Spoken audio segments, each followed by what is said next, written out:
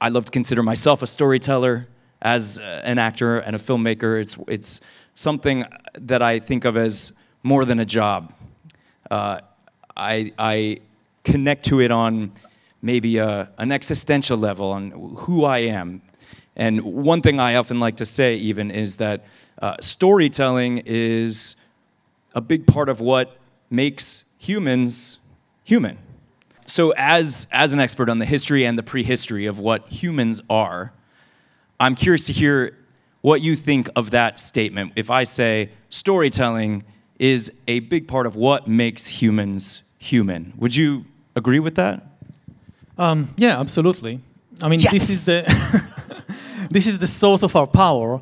We control the world because we can cooperate in much larger numbers than any other animal. And the secret of cooperation of humans is stories. I mean, you can't get to know more than 100 or 200 individuals, but the same story can be known to millions and even billions of people.